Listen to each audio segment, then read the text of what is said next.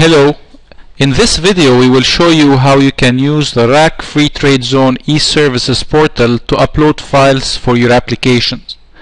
You can access the RAK Free Trade Zone e-services portal from your browser by going to www.rakftzeservices.com. In this demo, we apply for an employment visa. We simply click the employment visa link and follow the instructions.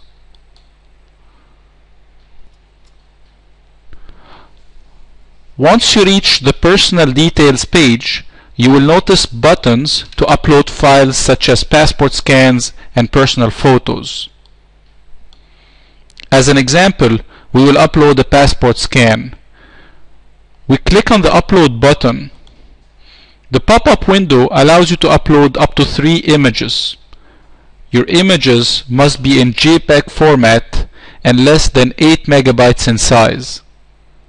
Click on the Choose File button, then select your file from the dialog box and click Open.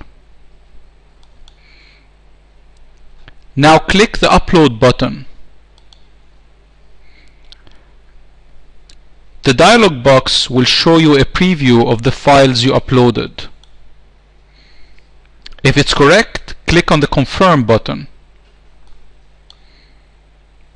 The main page will now display a green check mark to indicate that the file has been uploaded correctly. Thank you for watching. Please don't forget to visit our website www.cloudconceptgroup.com.